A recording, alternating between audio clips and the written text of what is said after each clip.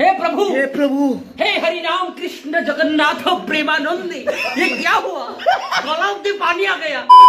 तो South Africa versus New Zealand की match और साउथ अफ्रीका क्या बढ़िया तरीके से न्यूजीलैंड को हरा दिया है? जब बेचती है। हमें पता था ये टीम ऐसा खेलेगा लेकिन जिस तरीके से न्यूजीलैंड को हराया है इसके बाद तो मुझे लग रहा है कि पाकिस्तान को टॉप फोर में जाने के लिए जिस स्क्रिप्ट की ज़रूरत है वो बढ़िया तरीके से अब तैयार हो रहा है। समझ रहे हो?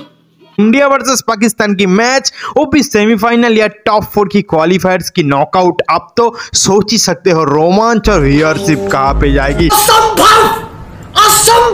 मुझे तो लगता है ये केस हो सकता है और उसके साथ अफ़गानिस्तान के पास भी एक बढ़िया मौका है टॉप फोर की पोजीशन को ग्रैप करने की। रूम भाइयों सिस्टम पार देंगे। अगर नेदरलैंड के साथ नेक्स्ट मैच जीत जाए अफ़गानिस्तान तो सात में से उनकी चार जीत हो जाएगी जिसके कारण टॉप फोर की जो पोजीशन है वो न्यूजीलैंड गवा सकती है। एक सेकेंड। और न्यूजीलैंड वर्सेस पाकिस्तान की मैच भी बहुत ज़्यादा रोमांचक होने वाला है।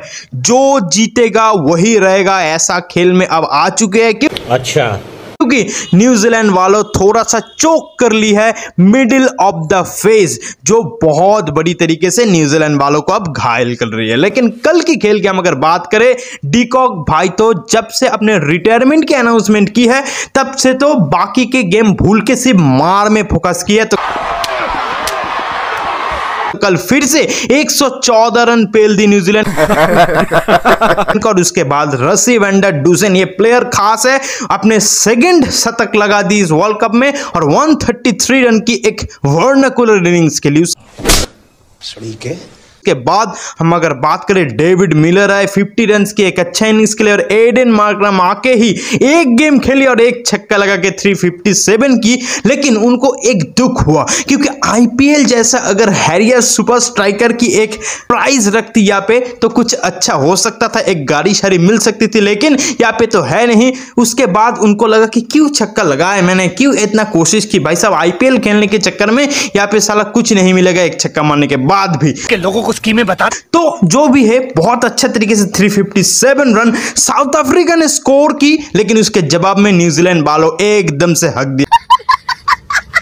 हम अगर बात करें 167 रन सिर्फ़ बना पाए। हमें इतना खराब उम्मीद था नहीं, क्योंकि टीम में तो अच्छा कैपेबिलिटी थे, लेकिन कोई भी प्लेयर ठीक ठाक से करा नहीं हो पाए।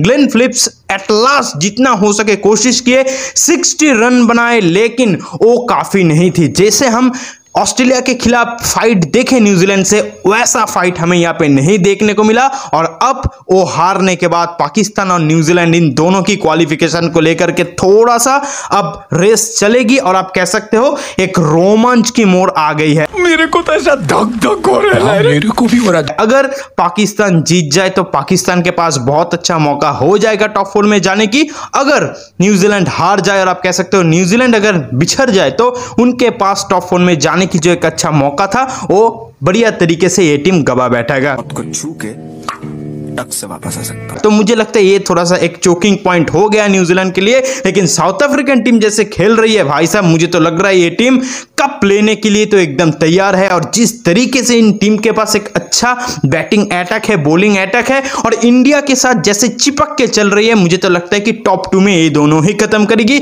और सेमीफाइनल मुझे लगता है इंडिया वर्सेज साउथ अफ्रीका की हो सकती है। और उसके बाद हम अगर इंडिया की बात करें तो छह में से छह जीतते हुए जो नेट रन रेट थी, उसको आप कह सकते हो थोड़ा सा टपक के साउथ अफ्रीका टॉप वन पे चली चुकी है। और आप कह सकते हो कि इंडिया और साउथ अफ्रीका के बीच अब रेस हो रही है।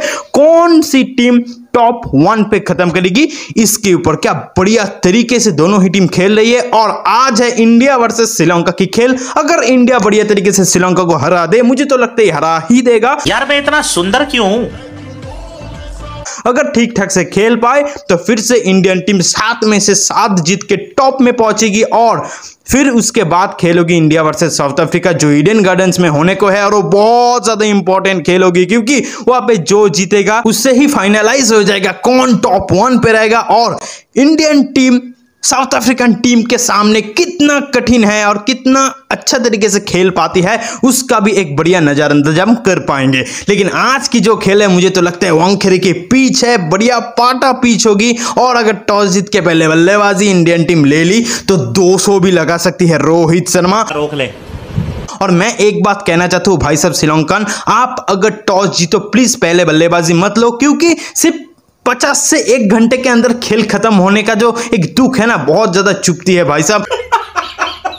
सिराज की जो विकेट नहीं मिल रहा, सिराज की जो दिक्कत है, उसका फॉर्म आज फिर से आने वाला है, क्योंकि एशिया कप में क्या हुआ था, ये तो आपको पता ही है।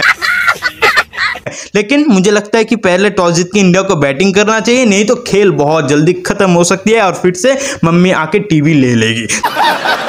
तो मेन बात है बढ़िया तरीके से आज खेल होने को है। अगर इंडिया जीत पाए टॉप में पहुंचेगी और फिर से साउथ अफ्रीका वर्सेज इंडिया की जो दौर, जो एक कोशिश चल रही है, कौन पहले और टॉप में खत्म करेगा, वो फिर से शुरू हो जाएगा और इंडिया फिर से टॉप पर चला जाएगा। तो आप अगर चाहते हो इंडिया टॉप पर जाए तो ज़रूर से लाइक शेयर एंड सब्सक्राइब करना, दोस्तों के साथ शेयर करना और आप भी एक कमेंट करके जाना, क्योंकि आपकी एक कमेंट मुझे बहुत ज़्यादा मोटिवेट करती है ऐसे ही क्रिकेट रिलेटेड मज़ेदार वीडियोस बनाने के लिए। Thank you